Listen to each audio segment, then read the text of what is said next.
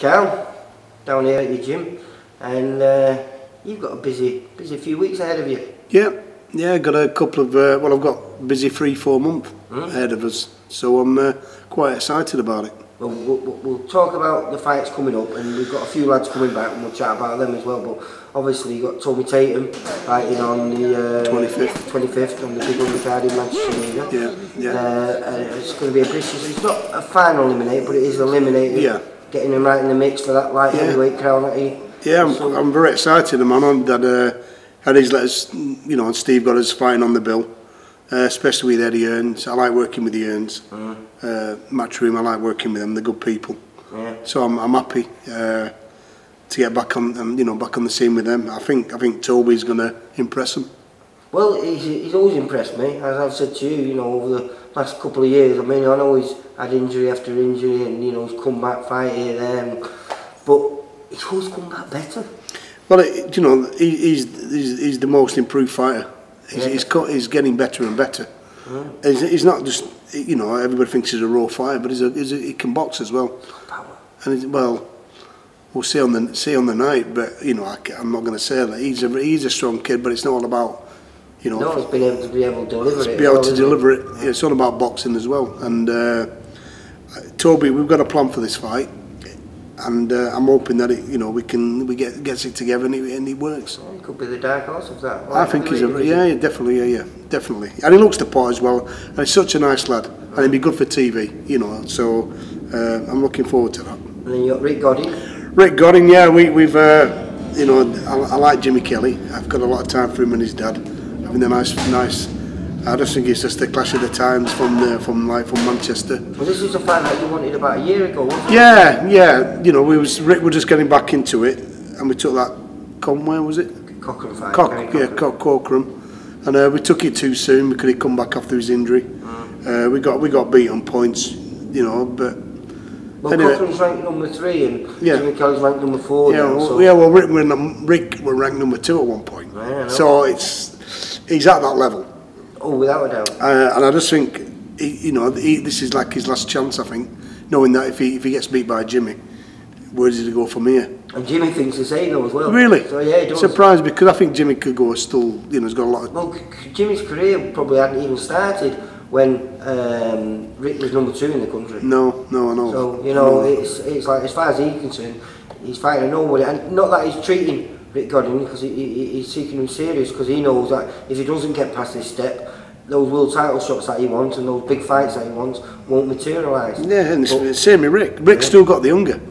People underestimate. I think he's in his prime now. He's 30, 32. He's 32, wasn't he, last week? Yeah, he's in his prime. You know, and he's he's had two, three years where he's, he's had uh, two years off with his, with his injuries, but he's not been. He's had time off. Mm-hmm. He's just not fought, and he's had a couple, of three, four fights last year. But he's still. He's always been in the gym. Well, the, the fight with the Cochrane was, uh, you know, you took it. You only had three weeks' notice. He was preparing for the fight, but he was a four Yeah, rounder, four-rounder. and uh, that's a little bit different than, than Yeah. coming into I think. fight uh, I think. a ten At, rounder. I think at the time, you know, Rick were panicking. Well, I might have left. You know, on, on you know, on the shelf, like, and and you know what, you know what, you what, said, well, I- to me, I'd leave it, Rick, and just let's. Well, the fight will come. It'll, no, I want to take the fight. I'll take the fight, and he'll tell you afterwards that he. He, you know, it was his decision, it's his own man. I'd, mm-hmm. I, I didn't want him to take the fight, but he took the fight, and, and you know, take great confidence out of that fight, though, considering the, like I say, three weeks' notice, but there was only actually two weeks of training for that fight. The Yeah. was having to Well, yeah. down there. Well, yeah. We, we, we didn't realise how fit Corcoran were going to be and how much pressure. And after three, four rounds, Rick just blew up. Mm-hmm. And after three, four rounds, I thought Rick was just ahead of the head. You know, so I- and just proves how tough he was because he, he grilled them last three, four rounds out. You know, I, I was ready for come on, I'm going to pull you out. No, you don't pull me out. You don't pull me out. you know, I'm a soldier. You know, and but it upset me because I know he, he can. I know what he can do. Well, And he's happy about this because I spoke Yeah. to him before, Yeah. and he, you know, he knows he's on point for this, and Yeah. everything, as far as we're talking about up to this day, it's going perfect for him. So yeah. he'll have no excuses one way or the other. No, well, it, like I said, it's a, it's a, a last stand scenario for him. Like you know, he knows that he's got to he's got to impress, and if he's impressed, he's back up there. Yeah, And it's still, and like I said, Rick, you're still, in this day and age, you still got another three, four good years left in you. Yeah. You know, you're a good fighter, good boxer. I think it's it's hard fights that, that not age that Yeah, kills a, yeah. a fight. It's hard fights. And, And Rick's Rick's never been in. No, it's, it's, it's too classy. Mm-hmm. It's too classy. And he'd be, touch wood, he'd be classy on the night as well. You know, we've got him, you know, we'll, uh, we'll be, you know, got three, four weeks now to peak him and we'll get him there. You know. And then I was here when I first come in. You was working with Shane Singleton. Right, Now Shane has got his uh, British title fight with Bradley Skeete. Skeete, yeah. May 6th, got a date. What's the betting on that? I think he's 9 to 1 for. Uh, Nine to one for Skeete. Very, very good fighter. Quite, I, I, I like the way Skeete fights, Mm-hmm. but I understand how he fights. yeah. So if I can work on, we can work on some, you know. And you have been. Yeah, And we're so- 10 weeks out. Yeah, don't and I'm seeing you. I know, I Don't- know. don't we? We're not talking about what, but you are working on points to, Yeah. to what you feel that will win this fight. And we're 10 weeks out. He's almost on weight. Yeah. You know, this is. Why, why, You you, won't Shane, get a better opportunity than. Shane, Shane wants it. Shane wants it more than ever, and uh, and that's what I, I love about him. I don't need to, I don't to like get him up for it because he's already there now. A bit disappointed. He had to go away for a couple of weeks when it was cancelled the last time. But you know, th- this is the biggest. This is his biggest fight. This is his world title, and he knows if it does come off, he- and he beats a great, great, and he beats a great fighter like Skeete. You know, he uh, great opportunities for him. You know, he still hasn't got over the Eggington fight, getting beat by him. He knew where he went wrong. You know, and touch wood, you know, we can we can turn that round on this fight. And then, now with those three big fights out of the way, you've also got Mike Stafford coming back. Well, Mike's on the verge of again fight for a title, believe it or not. You know, mm-hmm. they just said if a couple of fights under your belt, then there could be a, an opportunity to fight for the title, and he wants it. You know, he, he's, he's he, again his hunger's come back Yeah? after his injury. Again, he's been off with- off injuries. Because he had two operations on his feet, didn't he? He, he, Well, he had the arm, By, when we fought, when we fought John Di- Lewis Dickinson. Dickinson up in uh, in uh, in the northeast, you know, and we were confident in that fight, by the way. Mm-hmm. And first, again, first three four rounds, he were beating him, and then he's, he pulled his muscles and his, his bicep, yeah, his bicep yeah. So he fought, he fought for eight rounds with one arm, and he and, And he, could, and, and he could have won it. Yeah. I think he only lost by about three points or Yeah, two points yeah, on a couple yeah. of scorecards. Yeah, yeah, yeah. You know, and Not kept, bad one-handed fighter. Well, it was, but you know, kept saying, "Come, well, how do you feel? You want to pull you out?" And he wouldn't give me that answer. So we'll carry on. We'll carry on. You know, and afterwards, he, you know, his arm was was like that. But if he's, he's a, you got to hit him with an, an hammer to knock him know, out. I don't think you. I don't think you knock him out with an hammer, Mike Stafford. Reminded So. me of uh, if, if Desperate Dan was a real person. Well, he's- he's- that's That'd him. be him, wouldn't it? yeah. And then you've got Adam Simpson uh, making a bit of a comeback. Yeah, he's fighting on the Scott Scott Fitzgerald's bill. On March Gil 11th. March 11th next week. Uh, yeah, quite excited about him. He's, he's, he's a very talented lad. Mm. He's a young, he's you know, he's, he's very talented. He's got a good style about him. And he, uh, you know, he could go a long way if he, get, if he puts well, his mind to him, it. Um, on his debut, which was just over a year ago, it was, yeah. it was uh, just before it was on the Jolly Boys, not like Yeah. this year, but last Yeah, year. yeah, that's right. And he fought a kick off Andy Na- Na- Naylor, Yeah, I think it weren't a was. bad kid, him. It was, it was a fight, Yeah, it was. but Adam Adam just outboxed him. He did he did what he was told, you know, and uh, but the problem with Adam he's been a bit injured. He's had to you know he's come he's in and out of the gym. I know he's on it. He's on it now. His head's on it, so he's uh, he's looking forward to next week. Yeah. So yeah. exciting times for Karl Ince's gym. Yeah, we just need to get them champions. What we said, what two, three years ago. You know, what was McTartan. You know, I've had a few disappointments. There's people left us and come back, and you know, and but at the end of the day, you just carry on and just crack on, don't you? Yeah, well, we was just chatting with uh, Maurice Core. Maurice Core, yeah. Morris, I love this gym. It's great. It's like the old-fashioned. You you train the proper way, and it's and it's a compliment from Morris.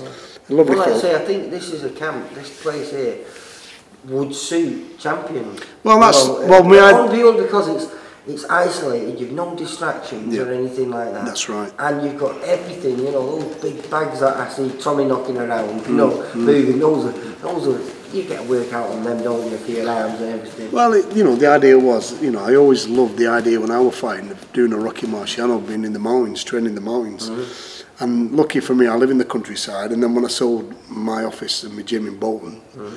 Where am I going to go? And I looked at my boy and said, oh, convert it. Spoke to the lads, are happy coming down? They said, it's going to be like a proper training camp, this. I said, yeah, and anybody what comes down to our gym loves this gym. And there's a good atmosphere in the gym as well when it's busy. Yeah, and he's You know. busy now. Yeah, but we're, we're getting there, aren't we? I seen Ali Shire here before. Yeah, he's come to join us. Uh, he's, a, he's, he's Very weeks, skillful fighter, know. he's weeks away. Yeah. He needs to lose a bit of weight. There's a few stone away. Yeah, yeah, Making yeah. me But, but he, slim want, he wants times. to he wants to give it another go. He says. Yeah. So I'll, I'll give him a chance, like I do with everybody else. Yeah. Kurt Greaves, he's back in the gym. Yeah. You know, so uh, that, you know that's great to see. Right. Well, Yeah, listen, it's yeah. been a pleasure. As and always. Like I say, good luck for the uh, oncoming fights, and like say, Yeah. hopefully, some point this year, Well- you might have that, that British champion that you've been so desire. I, I think there's a couple. You know, we could we could do it. You know, and, you know it's Could be a few. well, be great, wouldn't it? Hmm? Especially from Preston as well. Yeah, be great that. Yeah, you know, I've been in the game a long time. I've trained some good fighters over the years, and probably people don't realise who I've trained. You know, and I'm, I'm not, I don't go out boasting. Yeah, I, I don't. I don't do that. I just, I just get on with it, don't I? Yeah. And that's why I like the champs camp because they're like that as well. Just get on with it. They just get on with it. They're good people. Great to see. Hensley's been coming down with Ben Ben Sheed. A massive improving that kid. Brian Brian Rose has been coming down with Bo, with, with Bobby. Bobby. And uh, you know, it's great to see him coming down and making the effort and you know making a cup of tea and coffee and uh, you know. Well, that's a that's an intriguing fight though, isn't it? Um, Brian Rhodes and Jack Anfield. Tough fight to fight. I'm glad I'm not in the corner because it's a bit personal with them two, I think, mm. because they knew one another. You know, I like Jack and I like Brian. Right. And uh, I just, uh, I think it's going to be a tough fight. It is, A, again, you know, as we keep saying, 50-50 fight. Yeah, I think Brian's got the edge, but the way Jack's been fighting is he's really stepped up the mark these last. If you talk about momentum... Yeah, yeah, yeah, yeah. He's, he's, a, he's on good form at Jack's the got moment. the edge because Yeah. of, you know, he's got that Yeah. flow going. That's right. And he's won fights that he's perhaps no one really thought him to beat John Ryder, but he did. You hmm. know, and then Oh, the way he yeah, beat Mick Hall, yeah, it was well, a, a yeah, yeah. really confident performance. Yeah, yeah. Again, and with Brian, Brian knows him inside out. Mm-hmm. So Brian knows what he's going to deliver. All right, he's, he's going with Michael. He's at Michael Michael Jennings' gym.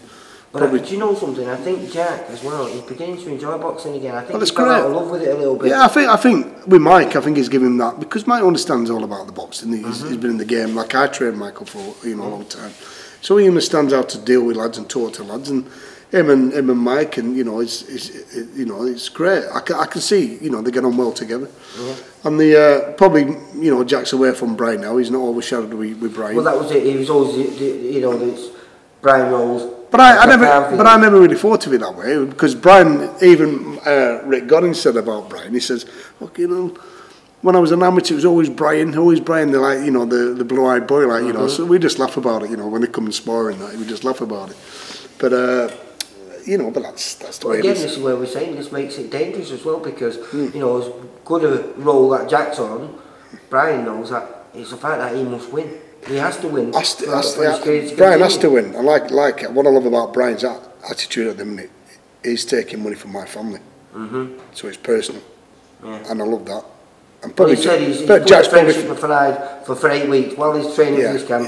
You know, At least it's not. Listen, it's not like Tony Bellew and David Haye. Anyway. It's no, not as ruthless no, as that. rubbish to one another. Oh, you know, it's not that. It's if when kids watch watch watch it and there's a lot of swearing. That you know, I, I'm not into all that swearing No. on the. Uh, especially on to say TV. that, I, I- you know, I do like Tony. Uh, Oh, yeah. Tony Bellew. He- You got to give. You got to get. I tell you something. He's got balls, hasn't he?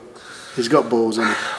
Yeah, I mean, it's a big step up. I mean, for me, you know, he's not really a cruiserweight, you know, uh, and he's stepping up to heavyweight. Listen, I used to train Enzo when I used to train Enzo Maccarinelli, Mm. and we used to spar with heavyweights, and Enzo used to knock heavyweights out. Yeah. So don't underestimate Tony Bellew.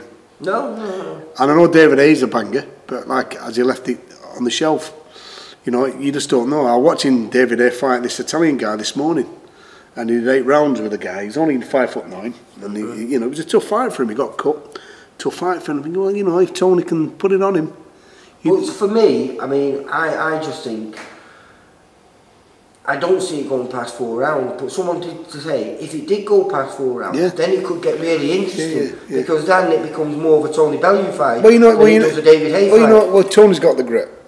You know, he's got the grip. Mm-hmm. You know, he, he, and, and he, you know, he's but he is vulnerable to a punch. Of course he is, and he's admitted that as well, hasn't he? He said that. And David Haye, he's basically said that as well.